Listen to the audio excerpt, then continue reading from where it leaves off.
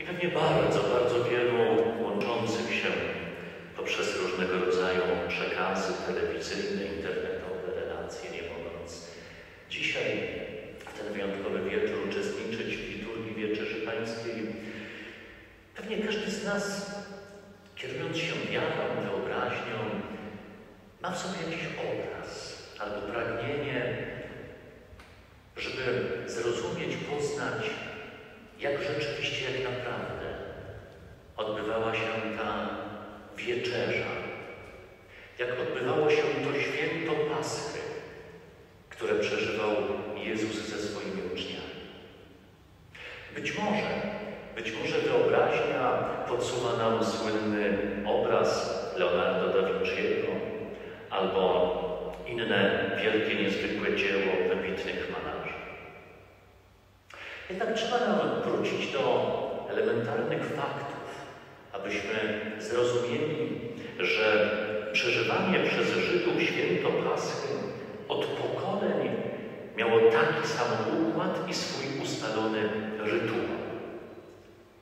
Rozpoczynało się od bardzo skrupulatnego usunięcia z domu wszelkiego starego kwasu i każdej nawet choćby odrobiny chleba albo innego pieczywa, pożywienia, które nie byłoby przaśne.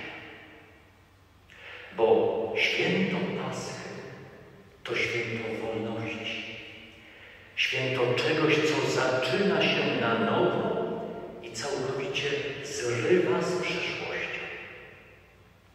Kiedy nadszedł czas rozpoczęcia uczty paschalnej, rozpoczynał się rytuał, który może nie był jakoś bardzo skomplikowany, ale trwał dosyć długo. Czynności przeplatane śpiewem odpowiednich psalmów i modlitw. Spożywano zabitego wcześniej baranka wraz z gorzkimi ziołami. Łamano i spożywano przaśny chleb, maczany w specjalnym czerwonym sosie. Wypijano łyk słonej wody na wspomnienie cierpień i łez, które wypłakali przodkowie w czasie niewoli egipskiej.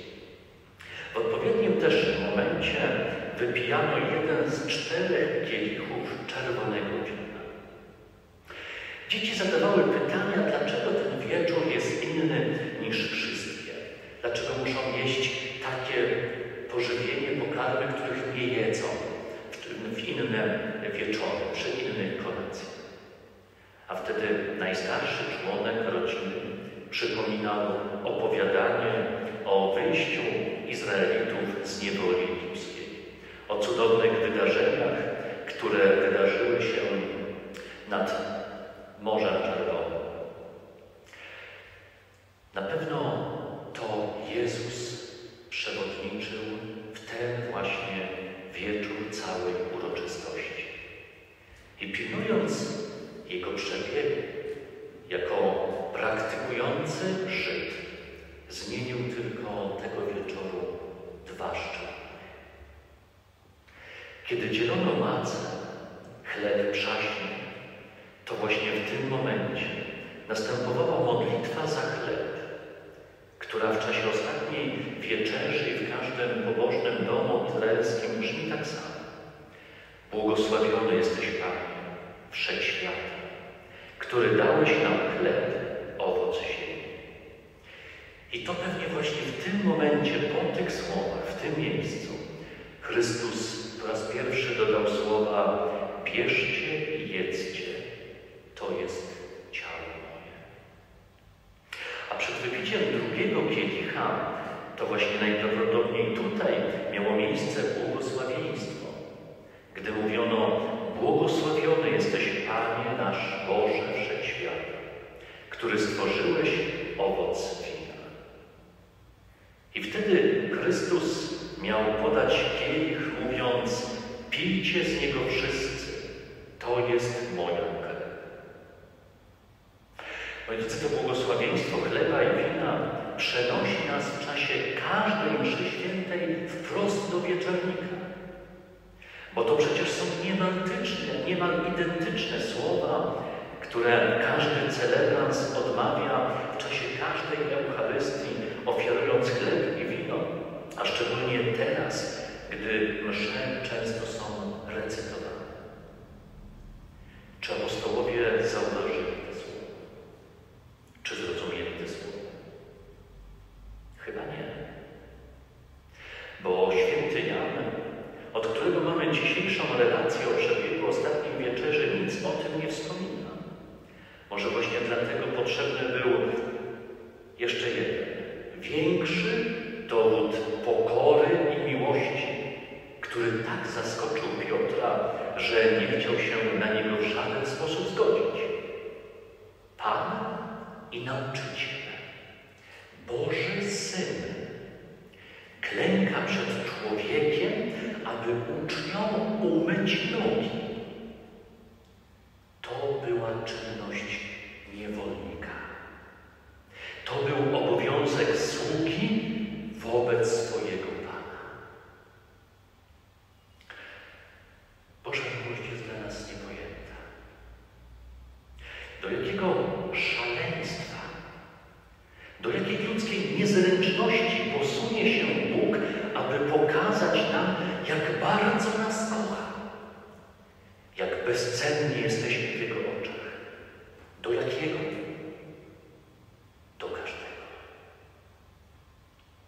Boży Syn zniży się do sługi, bardziej można przemówić tylko przez krzyż i śmierć.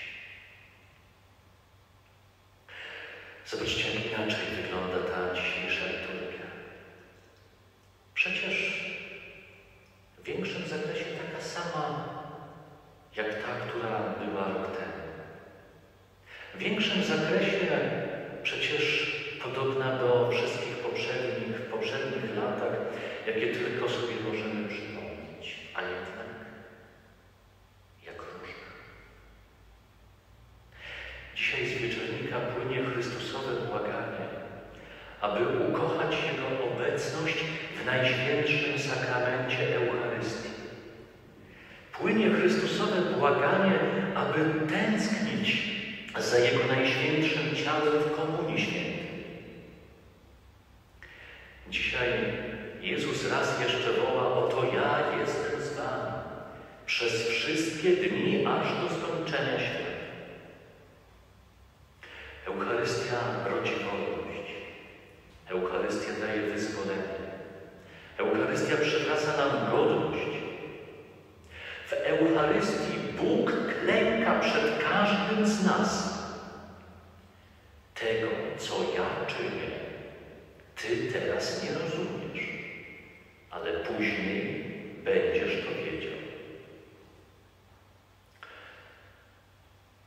Wobec tajemnicy Eucharystii możemy powiedzieć tylko o Jezu Chryste, Synu Bożym.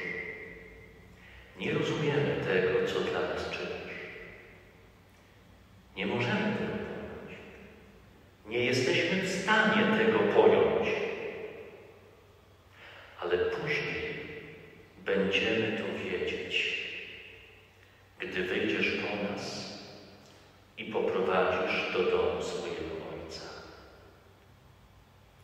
Dlatego ukochajmy Eucharystię, bo ona jest jedynym mostem